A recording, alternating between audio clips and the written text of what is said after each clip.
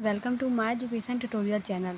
आज हम देखें यहाँ पे क्लास नाइन, जो कि हमारा प्रोबेबिलिटी है। ये क्लास नाइन तक नहीं, सभी बच्चे इसे देख सकते हैं, क्योंकि ये प्रोबेबिलिटी का हम बेसिक आपको बता रहे हैं। यहाँ पे हमको ये होता है कि हमारी जो प्रोबेबिलिटी है, ये स्टार्ट कैसे हुई? मतलब इसकी शुरुआत किसने की? किसने इसे खोजा? किसके दिमाग में ये प्रोबेबिलिटी का क्वेश्चन आया उठा कि हाँ मतलब प्रोबेबिलिटी क्या होता है? इसका मतलब क्या है? तो आइए इसके बारे में हम जानते हैं। अर्थात हम आपसे कहें तो प्रोबेबिलिटी का हम इतिहास पढ़ रहे हैं। हम यहाँ प्रोबेबिलिटी का क्या पढ़ने जा रहे हैं? हम यहाँ पे प्रोबेबिलिटी का इतिहास पढ़ने जा रहे हैं। तो देखिए, सर्वप्रथम प्रोबेबिलिटी को प्रोबेबिलिटी की जो मतलब संकल्पना थी, का जो विकास हुआ, वो आश्चर्यजनक ढंग से हुआ। मतलब आपको एक अद्भुत लगेगा। मतलब आप सोचेंगे कि इसका विकास कैसे हुआ? आप इसके बारे में सोच रहे होंगे। इसका विकास आप जानेंगे तो आपको एक आशाजनक होगा, एक आपको बहुत मतलब समझ लीजिए कि सोचेंगे आप कि कैसे ये मतलब कौन से व्यक्ति थे जिन्होंने इसका विकास किया। तो बता दें वो मतलब एक जुआरू था। जुआरू मतलब क्या होता है? जैसे वो जुआ खेलता था। तो उसके दिमाग में प्रोबेबिलिटी के मतलब वो तो जानता नहीं था कि ये प्रायिकता ही है। उसके कुछ क्वेश्चन थे। तो देखिए हम आपको बताते हैं आगे। देखिए, उनका नाम क्या था? सेविलियर। क्या नाम था उनका? सेविलियर डी मेरे। नामक जुआरू। जुआरी का मतलब क्या होता है? जो जुआ खेलता है। क्योंकि पहले के लोग ये सब नशा, जुआ, ये सब बहुत खेलते थे। तो व्यक्ति क्या था? वो एक जुआरी था। पासा संबंधित कुछ है। मतलब पासा संबंधी कुछ समस्याओं को लेकर वो किसके पास आता है? ये कब आता है? सोलह सौ चौवन ईस्वी में। मतलब कोई जुआरू था जो जुआ खेलता था। अर्थात देखा जाए जो हमारा प्रायिकता है, जिसे हम प्रायिकता, जिसे हम प्रोबेबिलिटी कहते हैं, जिसे हम पढ़ते हैं, अगर उसका इतिहास के बारे में जाने तो समझ लीजिए एक जुआरू था, उसने इसकी खोज की। लेकिन देखिए, इसने, इसके तो कुछ दिमाग में क्वेश्चन आए मतलब कभी जुआ खेलता होगा तो इसके दिमाग में कुछ क्वेश्चन उठे होंगे, जिन्हें सॉल्व करने के लिए जिनका आंसर जानने के लिए, जिनका हल जानने के लिए ये सत्रहवीं शताब्दी में, किसमें? सत्रहवीं शताब्दी में किसके पास आता है? देखिए यहाँ पे सत्रहवीं शताब्दी में एक सुप्रसिद्ध फ्रांसीसी सुप्रसिद्ध फ्रांसीसी, जो कि क्या है? एक दार्शनिक है। सुप्रसिद्ध फ्रांसीसी, दार्शनिक और गणितज्ञ ब्लेज पास्कल के पहुँचा मतलब उनके पास पहुँचा। और देखिए, ये क्वेश्चन उनसे भी मतलब सॉल्व करने के लिए कोशिश करता है। उनसे कहता है कि जो हमारा यहाँ पे क्वेश्चन है, उसका आंसर आप सब दीजिए। तो आप सोचेंगे क्वेश्चन क्या था उसका? देखिए पास्कल को इन समस्याओं को हल करने में काफ़ी रुचि लगने लगी। जो पास्कल वैज्ञानिक थे, उन्हें जब ये सॉल्व करने लगे, जो फ्रांसी के पास्कल दार्शनिक पास्कल वैज्ञानिक थे, यहाँ पे देखिए, गणितज्ञ जब ये क्वेश्चन को उसके सवाल को सोचे मतलब देखे, सुने और उन्होंने समझा तो उन्हें बहुत मतलब इसमें रुचि आने लगी। जैसे आप प्रायता के कुछ क्वेश्चन सॉल्व करते हैं गुब्बारे का अगर एक में मिला दिया जाए तो बाहर निकालें तो क्या प्रायिकता हो सकती है? ये सब टाइप के क्वेश्चन तो वैसे जब इन्हें ऐसे क्वेश्चन मिले तो वो जुआरू ने इनसे पूछा तो इन्हें बहुत मतलब जब ये सॉल्व करने लगे तो इन्हें बहुत रुचि इसमें लगी. रुचि का मतलब क्या? है जैसे आप कोई काम करते हो, अगर आपको पसंद है तो आप उसी काम को करने की आपके अंदर इच्छा होगी हमेशा. तो वैसे इनकी क्या थी? इनकी उसी काम के प्रति इनकी इच्छा होने लगी. मतलब वाकई में कैसे हो सकता है? ये सोचने लगे. और इसमें उन्होंने अपना समय दिया, समय व्यक्त किया। तो आगे देखिए, इन्होंने एक मिलते हैं एक और वैज्ञानिक से। वह इन समस्याओं पर अध्ययन करने लगे। वो क्या करने इन समस्याओं पर अध्ययन करने लगे। और एक अन्य फ्रांसीसी। अब देखिए, एक और फ्रांसीसी थे इनका नाम क्या था? एक अन्य फ्रांसीसी गणितज्ञ क्या है? गणितज्ञ पियरे दी फर्मा। देखिए, यहाँ पे गणितज्ञ पियरे दी फर्मा के साथ चर्चा भी की। एक गणितज्ञ थे, क्योंकि ये गणित का सवाल था तो उन्होंने एक गणितज्ञ जो उनका नाम था पियरे दी फर्मा, उनके साथ इन्होंने चर्चा किया। अपना मतलब जो उसके द्वारा क्वेश्चन था, उस क्वेश्चन को रखे और इनका जो उसके उस क्वेश्चन पे विचार था, जो सहमति थी इनकी, इस चीज़ को वहाँ पे वो प्रस्तुत किए। तो देखिए क्या होता आगे। पास्कर और फर्मा ने, किसने? बेजल पास्कर जो ब्लैज पास्कल हैं और फर्मा। इन्होंने अलग अलग होकर, स्वतंत्र होकर इन समस्याओं को अलग अलग हल किया। मतलब समस्याओं को स्वतंत्र रूप से, क्या किए अलग अलग सॉल्व किए अलग अलग हल किए यह कार्य ही प्रायिकता सिद्धांत का आरंभ हुआ। यही जो कार्य था वो क्या हुआ? प्रायिकता सिद्धांत का यहाँ पे देखिए, यही कार्य ही प्रायिकता सिद्धांत का जो प्रोबेबिलिटी थ्योरी है, इसका यहाँ पे आरंभ होता है, विकास होता है। अतः आपका यहाँ पे आपको आंसर मिल गया होगा कि अगर हम आपसे पूछे कि प्रायिकता का विकास कैसे हुआ? तो प्रायिकता का विकास कैसे हुआ?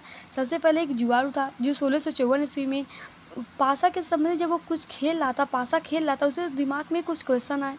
उन कुछ सवालों का जवाब पाने के लिए वो एक गई, एक महान वैज्ञानिक जिन्हें थे ब्लेज पास्कल, उनके पास जाता है और अपनी वहाँ पे समस्याएँ को प्रस्तुत करता है और उनसे कहता है कि इसका हल क्या होगा। अब जो ब्लेज पास्कल थे, उन्हें एक जो क्वेश्चन था, ये प्रश्न था, उन्हें बहुत अच्छा लगा। उन्हें मतलब इस प्रश्न में इतनी रुचि होगी कि वो दिन रात इसी के बारे में सोचने लगे। उन्होंने सोचा, वाकई में उसके द्वारा जो क्वेश्चन पूछा गया था, वाकई में बहुत सही है। इस पर विचार किया जाए। तो विचार करने के लिए अपने एक दोस्त थे, उनका नाम क्या था? जो गणितज्ञ के, गणित के, गणितज्ञ थे। उनका नाम था पियरे दी फर्मा। क्या नाम था यहाँ पे? देखिए, पियरे दी फर्मा। इनके साथ में उन्होंने चर्चा किया और अपनी मत वहाँ पे प्रस्तुत की। तो इन्होंने अलग अलग होकर इन पे इनका हल ढूंढा। इन पे इनका क्या किया? हल ढूंढा। यहीं से हमारा जो प्रायिकता है, जिसे हम प्रोबेबिलिटी कहते हैं, आरंभ हुआ। क्योंकि प्रोबेबिलिटी हर एक बच्चों का अच्छा सब मतलब एक चैप्टर होता है। तो आप सबको यहाँ पे आंसर इसका मिल गया कि प्रोबेबिलिटी का विकास कैसे हुआ? तो ये हम बताए हैं, उसी से प्रोबेबिलिटी का विकास हुआ। अब आगे हम बताते हैं कि मतलब इस, ये हमारे तक कैसे पहुँचा। ये तो इनकी बात हो गई मतलब इन दोनों ने सॉल्व किया, हल किया, ढूंढा, कुछ भी किया। ये बात हमारे तक कैसे पहुँची? तो आइए इसके बारे में हम जानते हैं। हम यहाँ पे देखिए, आपको एक प्रतिमा दिखा रहे हैं। ये जो प्रतिमा है, जानते हैं किसका है? ये प्रतिमा हमारे जो थे। यहाँ पे जो पहले हमारे जिनके पास समस्याएँ लेकर गया था वो जुआड़ू दार्शनिक है, वो कौन थे? Blaise Pascal. उनकी ये क्या है? उनकी ये प्रतिमा है ब्लैज पास्कल की ये प्रतिमा है, जिन्हें आप सब देखिए यहाँ पे। और ये कब इनका जो था जीवन काल क्या है? सोलह सौ तेईस से सोलह सौ बासठ। और आगे जो हमारे एक वैज्ञानिक और थे, जिनका नाम क्या था? सॉरी, वैज्ञानिक नहीं मतलब गणितज्ञ थे, क्योंकि गणित का सवाल था। तो उनका नाम था पियरे डी फर्मा। क्या नाम था? पियरे डी देखिए, ये हमारे क्या है? पियरे दी फर्मा है। यही इनकी क्या है? प्रतिमा है। आप सब यहाँ पे देख लें, सोलह सौ एक से सोलह सौ पैंसठ ईस्वी में। तथा अन्य हम यहाँ पे गणितज्ञ की बात करते हैं, जो इस प्रायिकता का विकास किए। तो आइए देखते हैं। देखिए, इस विषय पर पहली पुस्तक मतलब जो पहली पुस्तक थी जो ये सब्जेक्ट है मतलब चैप्टर जो हमारा क्या है प्रायिकता इसकी जो पहली पुस्तक है, वो गणितज्ञ जे कार्डन कौन थे? देखिए यहाँ पे गणितज्ञ जे कार्डन पंद्रह सौ एक से पंद्रह ईस्वी में तक लिखी थी। किसने लिखी थी? जे कार्डन सबसे ज़रूरी आपको ये सन याद करना नहीं, सबसे ज़रूरी आपका है ये नाम याद करना कि जो प्रायिकता की पहली पुस्तक है, वो किसके द्वारा लिखी गई थी? जे कार्डन के द्वारा। आप सब इसे याद कर, करिएगा, जे कार्डन क्योंकि नाम आसान है, जे कार्डन तो आप इसे याद कर सकते हैं कि जो प्रायिकता है उसकी पहली पुस्तक जो प्रकाशित हुई वो क्या है? जे कॉर्डन तो, तो आगे अगर हम देखें तो इसका जो शीर्षक है शीर्षक क्या है इसका? Book on games of chance ये book on games of chance ये इसका शीर्षक है। और आगे देखिए यहाँ पे एक और है गणितज्ञ जो सोलह सौ तिरपन ईस्वी में इसे प्रकाशित किया गया। सॉरी गणितज्ञ नहीं है ये वो व्यक्ति हैं यहाँ, ये वो सन है, क्या है? सन है सोलह सौ तिरपन ईस्वी में जो कि प्रकाशित हुआ था। लिखे थे तो जे कार्डन ने मतलब प्रायिकता की अगर पुस्तक की बात करें तो किसने लिखा था? जे कार्डन ने। और इसे प्रकाशित कब किया गया? प्रकाशित इसे सोलह सौ तिरपन ईस्वी में किया गया था। क्योंकि आप सोचेंगे कि मतलब इतना समय क्या हो रहा था या क्या किया गया? देखिए, आप जब कोई पुस्तक लिखते हैं तो लिखने में तो समय लगता ही है, ये सबको पता है।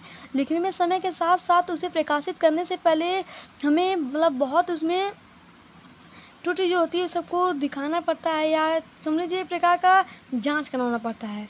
उस प्रकार हम इसे प्रकाशित करते हैं, प्रकाशित करने में समय लगता है। इसे प्रकाशित किया गया मतलब पूर्ण रूप से इसे प्रकाशित कर दिया गया, इसे मान्यता प्राप्त हो गई कि हाँ इसे चैप्टर में शामिल किया जाए।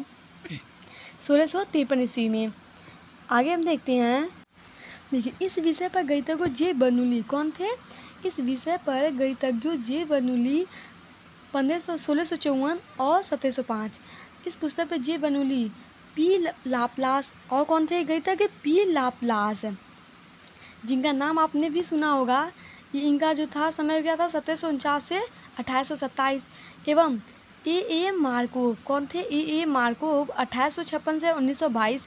और एन कॉल मोगरो और कौन है? एन कॉल मोगरो का भी वहाँ पे महत्वपूर्ण योगदान रहा। मतलब इसे देखा जाए तो इसे एक अकेले व्यक्ति ने किसी इसने इसका खोज नहीं किया। सबसे पहले ये प्रायता का देखा जाए तो प्रायता जो था, वो मतलब किसके दिमाग में कुछ खुरा पाता है? ये किसके दिमाग में? ये जुआरू था जो जुआ या पासा खेलता था। उसके दिमाग में इसके प्रति कुछ क्वेश्चन उठे। कुछ मतलब उसने सोचा होगा, जैसे न्यूटन ने वो सेब गिरा तो उसके बारे में सोचा ना, वैसे ही इन्होंने कुछ सोचा। तो इन्होंने अपने जो सवाल था, इस सवाल का आंसर ढूँढने के लिए इन्होंने किसके पास गया? ये एक दार्शनिक के पास गए थे, जो कि सुप्रसिद्ध फ्रांसीसी दार्शनिक और एक गणितज्ञ थे। और ये गणितज्ञ कौन थे? Blaise Pascal. इनके पास अपनी समस्याओं को हल ढूँढने के लिए उनके पास गए थे। अब देखिए, जो ब्लैज पास्कल थे, ये गणितज्ञ थे। जब ये ये क्वेश्चन को सुनते हैं मतलब जो उनका प्रश्न था उसे सुनते हैं और समझने की कोशिश करती हैं तो इन्हें समझने की कोशिश करने में इन्हें बहुत रुचि थी। मतलब ये देखते गए कि ये मतलब उसको सॉल्व करने में इनकी रुचि बढ़ती गई। प्रतिदिन इनका विकास उनके उस क्वेश्चन के प्रति, उस बात के प्रति इनकी रुचि क्या गई? बढ़ती चली गई। तो आगे ये क्या करते हैं, ये अपने एक गणितज्ञ और हैं, जिनका नाम था पीरी डी फार्मा। इनके पास अपनी यह क्वेश्चन का मतलब उसको जो चर्चा करते हैं, इस बात पे चर्चा करते हैं। किसके सामने करते हैं? पीरी डी फर्मा के, जो कि एक गणितज्ञ थे। इनके सामने मतलब ये चर्चा करते हैं। तो बाद में देखा गया, जो चर्चा करने के बाद ये दोनों अलग अलग स्वतंत्र होकर इन समस्याओं का हल ढूंढते हैं। इन समस्याओं का क्या कहते हैं? हल ढूंढते हैं। यह जो कार्य ही क्या कहलाता है? ये जो कार्य था, ये हल ढूंढे उन्होंने। कुछ सोचे समझे ये जो सभी जो कार्य हुए, इसी को हम प्रायता सिद्धांत कहते हैं। यही हमारा क्या है? प्रायता सिद्धांत का यहीं से आरंभ हुआ। यहीं से विकास हुआ कि जब उन्होंने हल ढूंढा तो कुछ ज़रूर निकला होगा आंसर। तो उसी से यहाँ पे प्रायता सिद्धांत का विकास होता है। अब देखिए, अब ये हमारे तक कैसे पहुँचा? ये तो उनकी बात हो गई जब उन्होंने सब कुछ किया। हमारे तक ये पूछने वाले पहली पुस्तक कौन थी? इतालवी। कौन सी थी? इतालवी गणितज्ञ जे कार्डन। सॉरी, ये पुस्तक पुस्तक नहीं है मतलब पुस्तक लिखने वाले हैं। कौन है ये? जे कार्डन 1501 से पंद्रह ईस्वी में लिखी थी। और ये प्रकाशित कब हुई? ये प्रकाशित हुई थी सोलह सौ तिरपन ईस्वी में। अगर हम पुस्तक का शीर्षक पूछे तो क्या था? Book on the games of chance ये इसका शीर्षक था। अब देखिए, इस विषय पर कई गणितज्ञ थे। कई गणितज्ञ ने चर्चा किया और कोशिश भी की तो कौन कौन थे यहाँ पे? हम उनके नाम ले रहे हैं जैसे जे बनुलिनी पी लाप्लास और ए ए मार्को तथा लास्ट में ए एन कोल मोगरो। इन सभी का यहाँ पे महत्वपूर्ण योगदान रहता है। आई होप आपको ये समझ में आ गया होगा कि मतलब प्रायिकता का विकास कैसे हुआ कौन खोजे और किसने से प्रकाशित किया। यहाँ इस पुस्तक के शीर्षक कौन थे ये सभी के बारे में जो कि आ, आपके आंसर थे। अब हम आपको नेक्स्ट वीडियो में इस पर कुछ क्वेश्चन सॉल्व करेंगी और प्रायिकता को जानेंगी कि वाकई में प्रायिकता है क्या। तथा हम आपको इसके जो जुड़े समस्याएँ हैं, जैसे पासा क्या होता है, ताश क्या होता है और सिक्का क्या होता है, इस सब के बारे में भी जानेंगे। ये सब क्या होती हैं, कैसे इस पर क्वेश्चन बने, इन सभी के बारे में हम संपूर्ण जानकारियाँ आपको अब नेक्स्ट वीडियो में बताएँगे। अतः आपसे रिक्वेस्ट है कि हमारे जो चैनल है, एजुकेशन ट्यूटोरियल चैनल, इसे आप सब सब्सक्राइब कीजिए, जिससे आपको नोटिफिकेशन प्राप्त हो सके। तो thank you watching my this video